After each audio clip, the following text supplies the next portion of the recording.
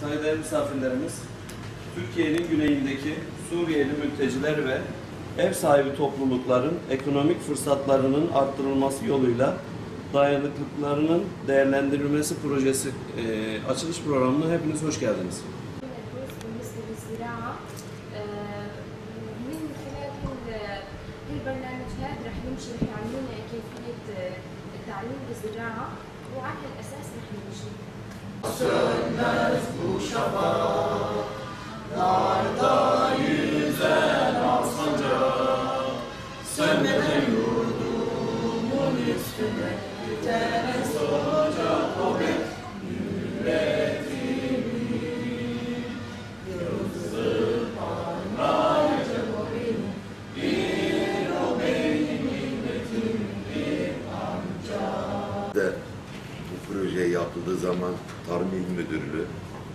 hep beraber olduğumuz, kardeş kurmuş olduğumuz Tarım İl Müdürü, ilçe müdürü böyle bir eğitimden bahsedince biz de çiftçilerimizin, halkın her türlü odamız çiftçinin yararına, faydasına ne gerekiyorsa taşın altına elimizi koyduk.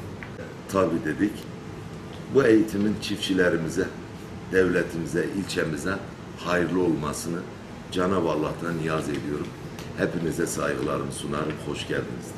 بالنسبة للبروجي هي ثلاث شهور كلياتنا سوا مع بعض E, projede hem e, Suriyeli mülteci olan katılımcılar hem de Türk katılımcılar var. بالنسبة للمشروع هم سوريين هم تراك آه، رح نمشي فيه Yaklaşık 3 ay boyunca e, İl Tarım Müdürlüğü'nün gözetiminde تقريبا شيء ثلاث شهور آه، رح آه، تستمر هالدورة e, zirai konularda ve sosyal içerikli konularda sizlere eğitim vereceğiz. آه، بالنسبة للزراعة رح يعلمونا التعليم عن الزراعة يعني هن رح يحكوا آه، ونحن رح نتعلم يعني Hem e, içinde bulunduğunuz ülkenin yapısını, e, özelliklerini hem de e, yarın bir gün çalışma hayatında size pratikte bir iş imkanı sağlayacak, bir kolaylık sağlayacak bilgileri vermeyi amaçlıyoruz. 22 değil mi?